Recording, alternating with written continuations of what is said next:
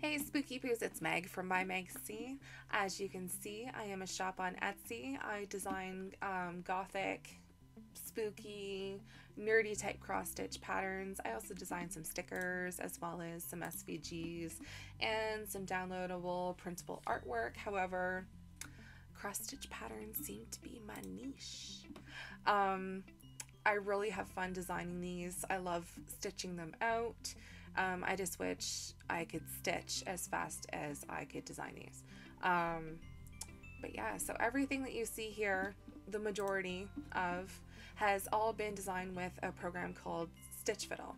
Um, so this is not sponsored or endorsed by Stitch Fiddle in any way. However, I love this program so much, and I also just want to share um, what knowledge I have on this program. When I first decided I wanted to get into designing cross stitch patterns, I had no idea what I was doing. There's a couple YouTube videos out there uh, giving you some options of what to do, what to use. However, I was never really shown the whole process, I guess is, is what I want to say. So anyway, um, I'm going to try and show you how I put together these cross stitch patterns and how you can um, put them all together, make them look professional, and put them up for sale on Etsy or Ko-fi or um, let's see, Creative Fabrica. Um, there's a bunch of different sites out there for you. Um, but anyway, yeah, so let's get started. So obviously, so you would go to stitchfiddle.com, um, you would want to create an account. Uh, yours obviously wouldn't look like this from the get-go. I've been on here for quite a while. I have 383 charts saved on here. um, yeah, I, I, I love this program. Now I do pay for the premium version. However, my suggestion to you is to definitely start off with free version. Um, some of the tools that I show you here today you might not be able to use in the free version, but you would want to get the basics first anyway. Um, so you would design something small, um, you know, something cutesy, and then you would just go from there.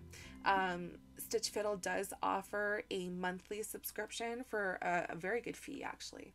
Um, and then, should you still enjoy it after that uh, month is up, definitely just go ahead and pay for the annual version. That's what I do, and I I have very little bad things to say about this program.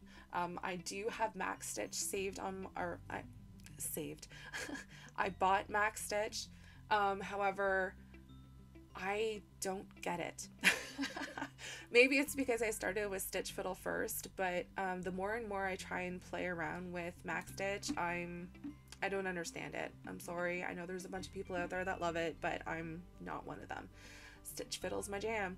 The only um, one thing that I love about MacStitch, which Stitch Fiddle doesn't do, there we go, is when it comes time to downloading this image as a preview image, I love the fact that when you click this little fun X button over here, it actually shows it as like digitized cross stitches, whereas Stitch Fiddle doesn't do that. So as you can see here with my Death's Head Moth, this is very clearly just digital blocks, blocks of color.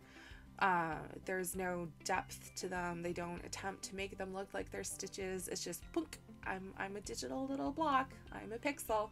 Um, but I mean, it's little things like that, really.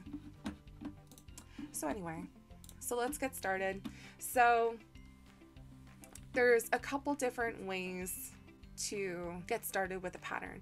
Uh, generally what I do is I will have something sketched out or you know what I even just go in and I just start doodling away on Stitch Fiddle and just whatever happens happens. So basically you would hit sorry that plus one plus one create new number back here. You would click on cross stitch. I always click on DMC however it's your preference. Um, I mean if you use anchor great. If you use this Madeira Moulin you great. You can also do no preference and it will just show you just generic colors. If you tend to use like I don't know, different brands of floss. There are converters online that you can use. So if, um, like, say you stitched with CXC, um, you could do a chart using DMC and Stitch Fiddle and then convert all the floss colors that you end up using to what um, to what numbers it would be using CXC thread. So it would be a simple Google search, hey, convert DMC to CXC, and then you'll be laughing. Ha ha ha ha. Uh, so DMC is what I usually use. So we can try with an empty chart of our own design. Generally, I usually, when I'm doodling in here, I'll start with 60 by 60. And this is what will pop up for you. So Stitch Fiddle always starts off with these predetermined colors for you. So if you already have a color palette in mind, um, so say you don't want any of these colors, you can just get rid of them. So just click on what color you don't want. And as long as there are no stitches um, already placed on the canvas, sorry, right click, you can just click remove and then boom, pink is gone. However, so say this purple here, say you had a couple stitches on here already, and then you go to remove the purple, it'll say remove slash merge. So what that means is, is it thinks that you want to change this purple into one of the colors that are already there, or maybe you really do just want to get rid of it and altogether, which is this top option here. You would change the purple into a no stitch. All right, again, you would just right click on the color, remove everything. Okay, so say we know when we're working on here, we're gonna want three colors. So we'll start off right clicking this red and say we already know that red, we, we want 310. Okay, so 310 is black. And you know, we already know that we want, um, I don't know, 977. And the other one that we want for sure is this really cool 954. So then all you're doing is just right clicking and clicking on the actual color that you do want. And then you would just basically go in and then just start with designing whatever your stitch would be. Um, should you not like the last thing that you place down, there are undo buttons up here. However, this also works like um, a design program and you would hit Control Z or Control Z and it would get rid of the last thing that you did. Uh, if you continuously hit Control Z, it would do the same thing. It would just get rid of whatever the last couple steps were. Okay, so basically what I'm trying to get across is you will fall in love with Stitch Fiddle. Just play around with it, keep experimenting with it, and if my shop is any example, you can come up with some pretty cool things. Um, whether you're importing pictures or otherwise, if you're just sitting there doodling the entire time. Um, these are my tarot cross stitch charts that I just recently released into my store and all of these were just from me you know looking at a reference picture on my phone and just quickly sketching out in stitch fiddle what I wanted it to look and then just fine tuning. Um, so yeah give it time give it practice and you're gonna have fun with uh, stitch fiddle I promise. So my witch chart here I did end up sketching in myself this crescent moon but this witch type here that was an actual font I had. So what I did and I don't believe I used Canva I believe I used another app but I'm, I'm just gonna show you it on Canva because Canva's free. I believe I used it on my Procreate app so and I know that's not free for everyone. So on Canva you go to create a design. If you're doing it on the app, there would be like a little purple plus symbol down in the bottom right hand corner, and it gives you a bunch of um, predetermined sizes of templates that you can use, but we can just do a custom size right now. It's no big deal. Uh, so, uh, so let's say 300. So we're doing a thousand by 300 pixels. You also have the option to put it in inches, millimeters, or centimeters. We'll just do pixels right now. It doesn't really matter and it'll give me um, one little template like this. Left hand side is where your text tool is. It doesn't really matter which size um, text to add because you can always go back in and edit this later like you can resize this so let's say that we want to do a cross stitch moon um, spooky for life so let's highlight all this text and when you click on the top left over here you get a bunch of different font options that you can change this text into um, so say I like this Berkshire oh actually I do so we like this font. So again, you can resize to whatever size you want. So I just resized it to 100 there.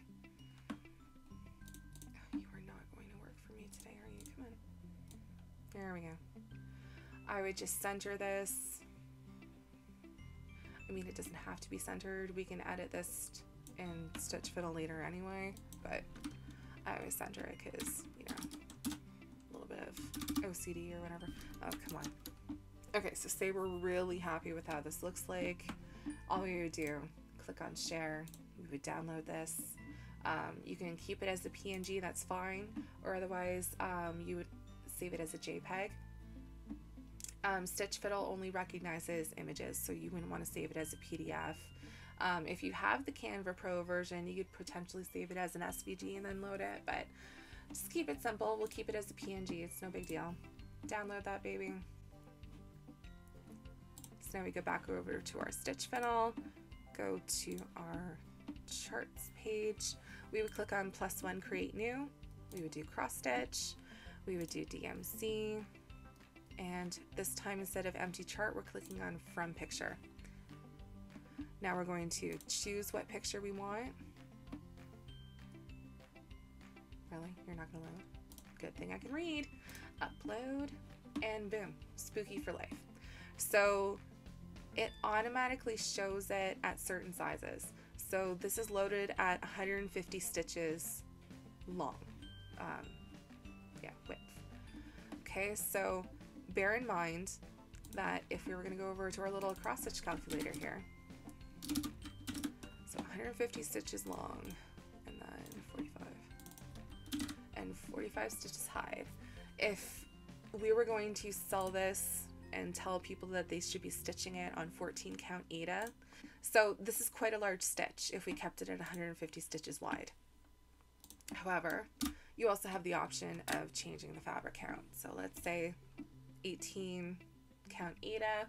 So we would only have to worry about them using a piece of fabric that's 16 and a half inches wide. And the stitched area would only be 8 and 3 eighths wide. So, I mean, it's up to you. It's personal preference. Just make sure that when you are creating larger sized cross stitch patterns that you are warning the buyer, hey, this is pretty big. Um, so, I mean, for example, I have what the uh, stitched area should be as well as I try and showcase some of the different count, uh, yeah, different count Aida um, and what those measurements would be. If we are happy with this at 150, then we could um, clean it up first a little bit before we shoot it off into the actual program. So to do that, you could fool around with brightness, you could fool around with the contrast, and then last but not least, what I usually do, if I'm just uploading text like this, I usually get rid of all these other colors that pop up. So I change this to a 2. Generally what Stitch Fiddle will do is it'll show be some sort of white and then it will um, usually pop up as 310 black. But you can also manually go in and choose what colors that you want this to be straight off the bat. Um, I don't. I just keep it simple. I usually start with a boring base like this and then if I want to add in colors after I've cleaned up this image then that's what I do. Um, so I just click save and then it will generate your chart for you. Now obviously we can't just save this like this and then try and sell it because I mean ew and there's no connection here like it just looks sloppy. So what we'll do is we'll click on full stitches here and it will populate our little uh, floss legend here. And we're just going to go in and clean this up a little bit. So alternating by clicking on these two colors, we're going to go in and add and take away and just basically make this look cute, cute and spooky.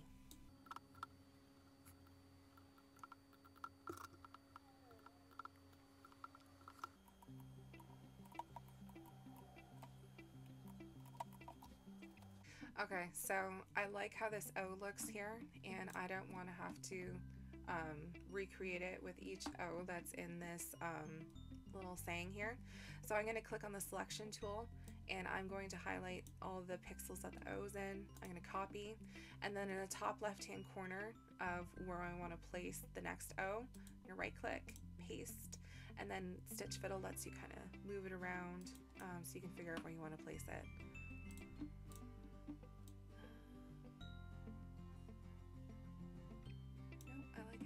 Then we click apply and then boom, there you go.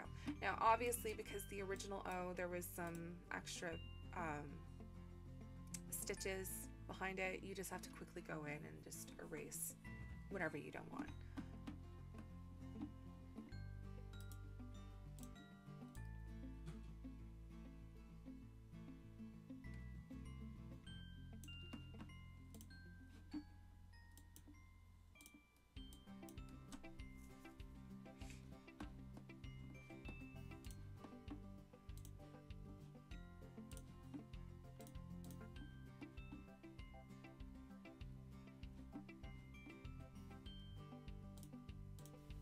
Okay, so we end up with something that looks like this, and let's say that we are super happy with it. Actually, I really, uh, this is cute. Now, what I don't like about this is the spacing between some of the letters. So we now need to go back in and just kind of conjigger this so that it looks a little more clean. So we're using our select tool again, and we're gonna try and make it so that there's two stitch spaces between letters and um, I'm pretty sure this is only a premium feature. However if you select what you want to move um, you can you don't even have to click move. That pops up in the menu there. You can just literally click and drag um, the letters over. Now let's say you didn't have the paid premium version. One of the ways that you can um, get rid of empty spaces quickly is using select tool and then you would go from the top of your piece down to the bottom. Um, yeah. And then we need to get rid of one column here. Um, we would then click on delete column which would automatically pop up in the menu and then you could be able to do it that way. Otherwise, more than likely, what you would have to do is you would just have to put in the stitches yourself beside um, beside the original letter. It's time consuming. It can be done though, so that you can still do all this for free. Uh, one, two, three, four. One, two, three, four.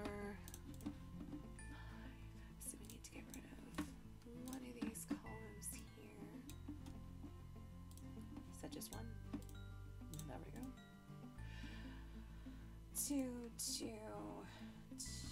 Yeah, that's one, but that's still no, it looks fine. Okay, now to get rid of all this other negative spa uh, space around the actual stitched area, so you're going to click select again, and you want to make sure that you're highlighting um, everything from the left to the right. Um, otherwise, this delete rows or columns option wouldn't pop up. We're going to delete those rows. Same thing for columns. So you're going to highlight from top to bottom entirely so that we can click on delete columns and just neaten everything up. You can also just too, if it's small and simple like this piece here, just highlight your actual um, stitched area. Then when the menu pops up, you just hit crop. Um, okay, so let's say after tidying this all up, we want more color in here. There's a couple different things that you could do. I mean, maybe, maybe you also want back stitching on here. So let's change this black color by right, right clicking on it. Let's change it to a lighter gray. Apply. And then we're going to add a new color and we're going to, let's grab this darker gray here. 645.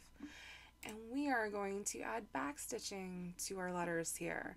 So it's quite easy to see when you click up here there's back stitches available there's different options that you can use and you can literally just when you zoom in all you have to do is click and drag and you can create backstitching. Now say I placed this wrong, say I went, oh, I made a mistake. So you just literally have to click on the last stitch that you made and it will get rid of it for you.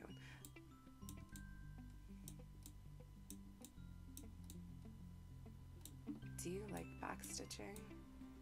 I've only done it a couple times now and I don't know. It looks nice when it's done, but I'm I'm not sure if I'm a total fan of it yet.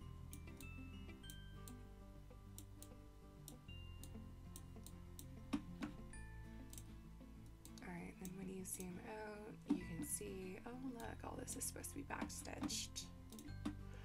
The other fun thing about this program, so say everything was all backstitched and lined and looked pretty, um, to make it easier for your customers to actually read, if you go to edit and then chart settings, title layout, and then go to grid and size. This option right here, self-drawn lines, we are currently on medium, which is the default. If you click on thicker and apply, Stitch Fiddle makes it really easy for you to see um, where all the backstitching is on the graph. Just one little thing that I love about this program. Now bear in mind, if you are doing a pattern with a lot of backstitching in it, when you save this as a preview image, like I'm going to show you how to do later, um, the backstitching won't show up for it. So there's another kind of ooh, stitch fiddle, no, type moment, but we'll get to that. Okay, so we talked about some back stitching. Now, um, let's say that we didn't want back stitching, we just wanted to add some splashes of color into the actual letters that are on here. So top left hand side here, we'd go to this plus one symbol and we can start adding in any of the colors that are available on the chart. Now, bear in mind, this is a software program or a website or whatever some of these floss colors aren't as accurate as they would appear on um, I mean, not only my monitor, it would be any monitor. Um, I know in the past I thought that this one, 743, was like really just a, a nice mellow yellow. Um, I mean, that's how it appears on the thing, but then when I actually started stitching with this color, it looked like I was, it just looked totally off and wrong. Um, so good rule of thumb is to if you have it available uh, make sure to have your actual flosses beside you and you're doing a color pull um, just making sure that the colors that you are choosing on Stitch Fiddle actually complement each other in real life. Um, another option is to go to the DMC website and go and order one of the floss booklets that they have. If those aren't options for you, then um, I did find a website that was actually it saved my bacon a couple of times. So it is stitchpalettes.com. I found them through Pinterest. They just randomly start popped up. Um, but basically, um, some of these are paid for. I, I think if you want to create your own palette, I think you have to pay for it. But there's already a bunch of made up palettes for you. And as you can see, so as you can see, it's pulled um, colors from this picture here and it actually lists the DMC threads that you would see in this photo and from what I've seen so far it's pretty accurate. This is also good too if you if you don't have a color palette in mind um, or maybe you're like me too maybe you're just no good with actually matching colors. You might just want to browse around on here or just on Pinterest or whatever and just pull up random color palettes and whatever you like, whatever you think complements each other, um, maybe that should be the actual um, thing that you use for your cross stitch pattern. Again, I mean, it's all personal preference. It's all up to you. I'm just trying to give you some resources to use if uh, you ever get in a bind. So anyway, um, so we're going to be pretty simple today. We're just going to use good old 666. I just want to add a pop of color to this. Okay, and let's say we only want the bottom portion to be this fun red.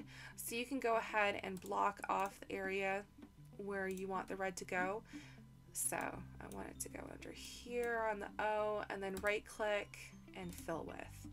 Uh, again, I'm pretty sure this is a, premium thing only.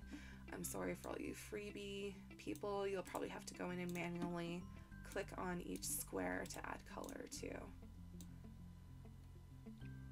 But I mean, again, if you're starting off small, just trying to get a handle on this program, believe me, it's worth it. As you can see from quick view of my Etsy there, there's a bunch of stuff you can do with this program and it'll turn out looking really cool.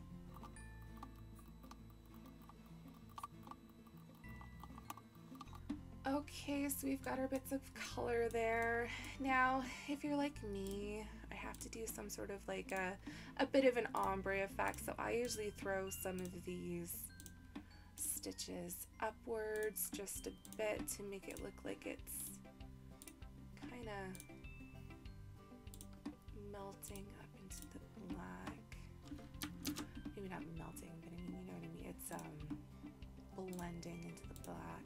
So when I do stuff like this, it kind of turns into looking like... so when you do those little splotches of color, it kind of turns into looking something like this. Now this is bigger, mind you. It's not as small as this pattern that we're working on.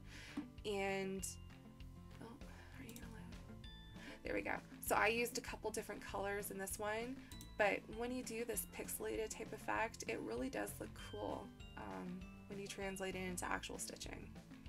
This was a really fun one to do. So anyway, that's that.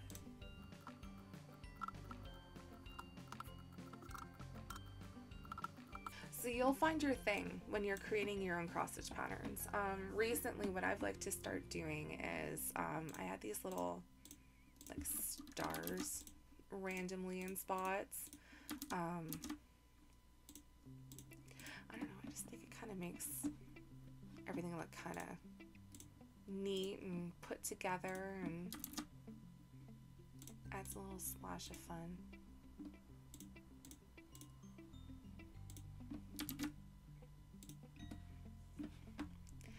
Okay, maybe not right there.